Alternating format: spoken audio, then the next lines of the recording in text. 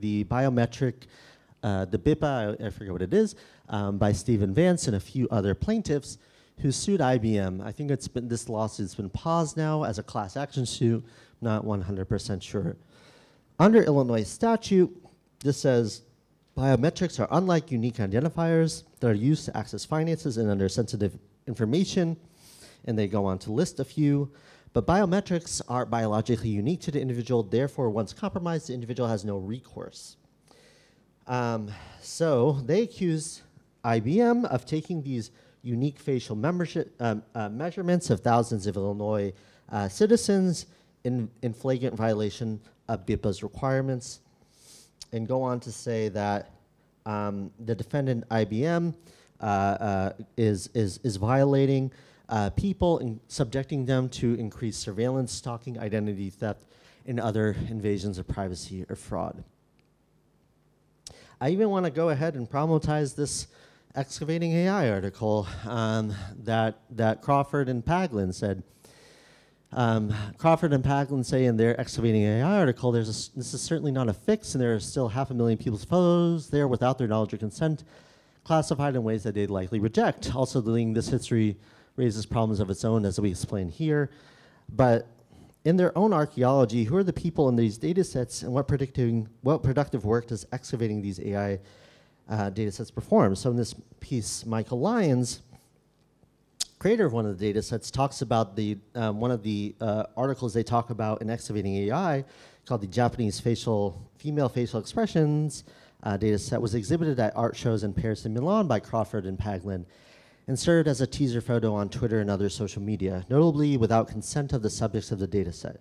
And you can see I'm not showing the subjects of, of the data sets in, in, the, in, this, in this presentation in any kind of identifiable manner. Um, and so Lyons notes that ethical double standard in the work, using the data set as a means of demonstrating data extraction, but falling short of abstaining their consent in their own practice.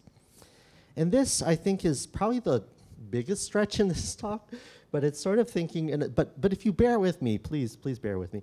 Um, you, you are with me 35 minutes in, at least stay with me the last 10 minutes. five minutes? Oh, okay, all right. it's cool. All I have is five minutes. So Everest Pipkin in their work, in their, in their work, Lee's work describes the act of watching a, this data called moments in time, which consists of three-second clips of videos which are classified into discrete actions by human annotators. Each video is slowed down, interpolated, and upscaled immediately in imagined detail. The stream of videos is haunting, ghost-like. The faces rendered ghastly by the resampling process, but commonplace as we see how poorly AI-powered generative models seem to do with human features. Pipkin planned on watching only a small percentage of the videos from the dataset, but ended up watching all 1 million three-second videos in their entirety. They remark on their hours of watching the violence in these works. In the archive, there are moments of extreme emotion and personal vulnerability, tears, screaming, and pain, moments of questionable consent, including pornography, racist and fascist imagery, animal cruelty and torture, and worse, I saw horrible images. I saw dead bodies. I saw human lives end. And Pipkin taps into the nerve of the matter. Machine learning datasets are a violent archive, of faces, actions, moments taken without context. Many of the frames which are available for people to contest being included in this archive are limited. They can't really ask to be removed, be it informed consent as a scientific mechanism, data subjectivity law within the US and US privacy, uh, U, uh, EU privacy and data protection regulation, or other liberal traditions protecting one's likenesses. And so I think my biggest claim here is that what I'm thinking about in this thought and what I think this book is about is that there is a whole body of cultural labor of data maintenance here.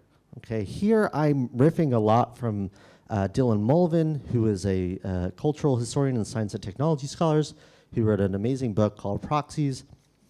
The way that we think about data, data cleaning, data munging, there's a whole host of cultural data uh, of cultural labor, of, of, of physical labor, uh, of maintaining the illusion that data sets are clean, right? That there are, to pretend that is, there is an ontology that can be sprouting as if by magic from the head of Zeus It just it doesn't it doesn't happen of that nature, right?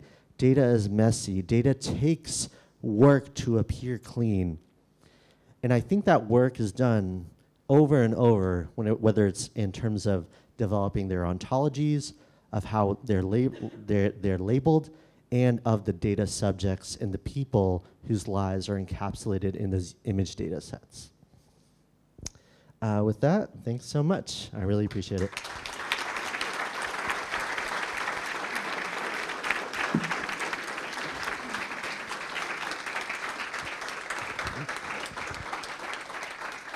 So, thank you very much, Alex. That was a wonderful talk, and you're wonderful. And um, so we have barely five minutes for questions. Um, who wants to start? And I can also, if folks wants to want to ask something in English, in Spanish, I can also translate. I can offer that. Um, yeah, who wants to? Who has a question? Yes. Hello there. So let's suppose that we have to build a new data set from scratch. It's not going to be easy, you know. And you're in charge of this. How can, how can we do it in a sustainable way, in a proper way?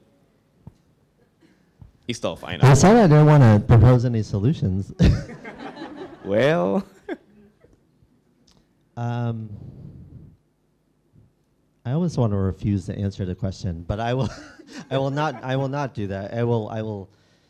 Um, why are you collecting the data?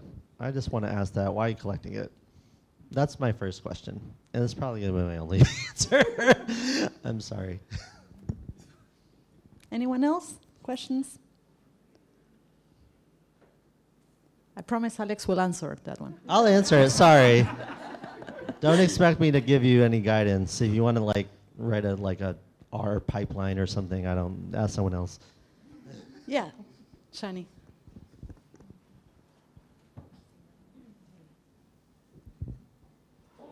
Thank you for the talk. Amazing.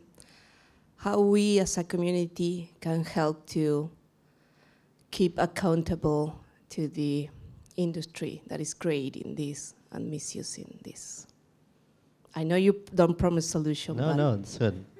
I mean, there's a lot of things here, right? I mean, there's, I mean, one of the things that this is a call for is an understanding of where data come from and an ask for data histories.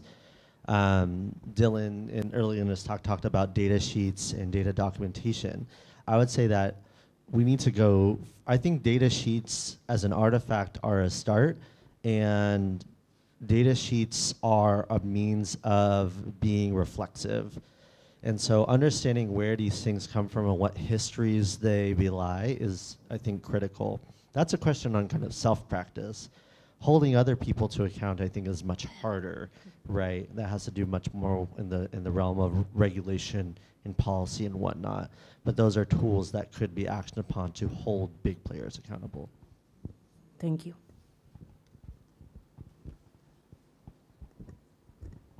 We have time for one or two more questions. Anyone? Yes.